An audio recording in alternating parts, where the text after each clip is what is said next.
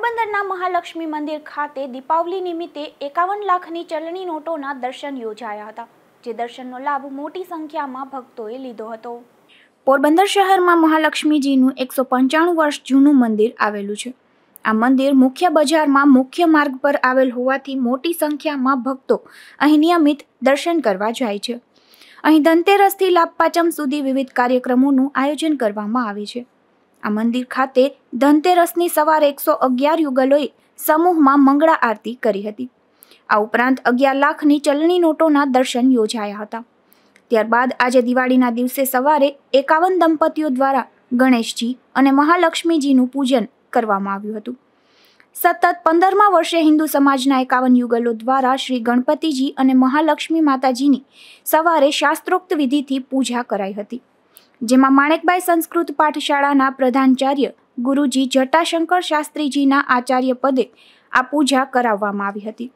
ત્યારે દર્શનાર્થી માટે મંદિર સવારે સાડા છ કલાકે ખુલ્લું મૂકવામાં આવ્યું હતું, જે રાત્રિના બાર વાગ્યા સુધી ખુલ્લું રહ્યું હતું. તેમજ સૌભાગ્યવતી બહેનોને વિનામૂલ્યે પ્રસાદી રૂપે માતાજીને ધરાવેલી કંકુની ડબીનું વિતરણ કરવામાં આવ્યું હતું. આ ઉપરાંત માતાજીને એકાવન લાખની ચલણી નોટોનો શૃંગાર પણ કરાયો હતો. જે દર્શનનો લાભ મોટી સંખ્યામાં ભક્તોએ લીધો હતો. ખાસ વિશેષતા એ હતી કે મંદિરે દર્શન કરવા આવનાર દરેક દર્શનાર્થીનું કુમકુમ તિલક કરી મહાલક્ષ્મી મંદિર ટ્રસ્ટ દ્વારા સ્વાગત કરાયું હતું. ત્યારબાદ જ પ્રવેશ અપાયો હતો. બેસતા વર્ષના દિવસે અહીં સાંજે પાંચથી દસ વાગ્યા સુધી અન્નકૂટ દર્શનનું પણ આયોજન કરાયું છે. આ મંદિર ખાતે વહેલી સવારથી જ ભક્તોની ભારે ભીડ જોવા મળી હતી. અને મોડી રાત્રિ સુધી ભક્તોએ દર્શનનો લાભ લઈ ધન્યતા અનુભવી હતી. દિનેશ ત્રિવેદી, ટ્રસ્ટી શ્રી પોરબંદરના મૂળવતની શ્રીમાળી બ્રાહ્મણ જ્ઞાતિ ટ્રસ્ટ સંચાલિત શ્રી મહાલક્ષ્મી માતાજીનું મંદિર. અમારું આ મંદિર એકસો પંચાણું વર્ષ જૂનું છે. દર વર્ષે લાખોની સંખ્યામાં દર્શનાર્થીઓ ઉમટી પડે છે. આજના દિવાળીના કાર્યક્રમમાં ખાસ વિશેષ સવારે સનાતન ધર્મ પાળતા હિન્દુ જીવન પદ્ધતિથી જીવતા લગભગ એકાવન વ્યક્તિઓએ સામૂહિક શ્રી ગણપતિજી અને લક્ષ્મીજીની પૂજા કરેલ હતી. સવારના છ વાગ્યાથી આ પૂજા શરૂ થઈ હતી, જે આઠ વાગે પૂર્ણ થઈ હતી.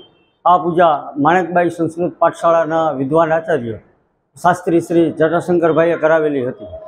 પૂજા પૂર્ણ થયા બાદ દર્શનાર્થે મંદિર ખુલ્લું મુકાયું છે. આજના દર્શનની ખાસ વિશેષતા એ છે કે ભારત સરકારની માન્ય બધી ચલણી નોટો, બધી મળીને કુલ એકાવન લાખ રૂપિયાની જંગી રકમના દર્શન અમે લોકોના દર્શન માટે ખુલ્લા મૂક્યા છે. આ નોટ ધર્યા પછી કંકુની પ્રસાદી સાથે અમે બેસતું વર્ષ અને ભાઈબીજને દિવસે બધાને વિતરણ કરવાના છીએ.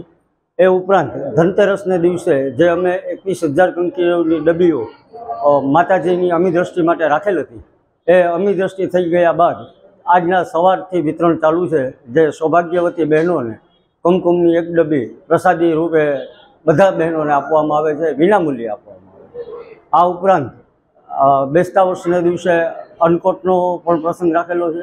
અન્નકોટના દર્શન સાંજના પાંચથી રાત્રિના દસ સુધી છે.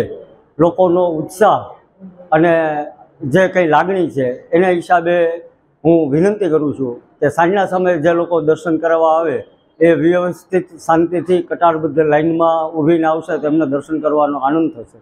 તો કે ધર્મપ્રેમી જનતા, કોઈ પણ જિલ્લા વહીવટી તંત્રના આ કંટ્રોલ વિના પણ અમે સારી રીતે દર્શન કરી શકીએ છીએ, એ પોરબંદરની જનતાએ ભૂતકાળમાં સાબિત કર્યું એ માટે તેમનો પણ ખૂબ ખૂબ આભાર. આ મંદિર શ્રીમાળી બ્રાહ્મણ જ્ઞાતિ ટ્રસ્ટ સંચાલિત છે. અહીં દર શુક્રવારે વિશેષ પૂજા અર્ચના કરવામાં આવે છે. તો દીપોત્સવી પર્વમાં વાઘ બારસથી લઈ અને લાભપાચમ સુધી વિવિધ ધાર્મિક કાર્યક્રમોનું આયોજન કરવામાં આવે છે. મોટી સંખ્યામાં શ્રદ્ધાળુઓ નિયમિત દર્શનાર્થે આવે છે. દર શુક્રવારે અહીં એકસો આઠ દીવડાની વિશેષ આરતી કરવામાં આવે છે, જેમાં દીવડાનો સ્વસ્તિક બનાવવામાં આવે છે. બહેનો દ્વારા દીવડાની ખાસ પૂજા કરવામાં આવે છે. નિપુલ પોપટ, ગુજરાત ન્યૂઝ, પોરબંદર.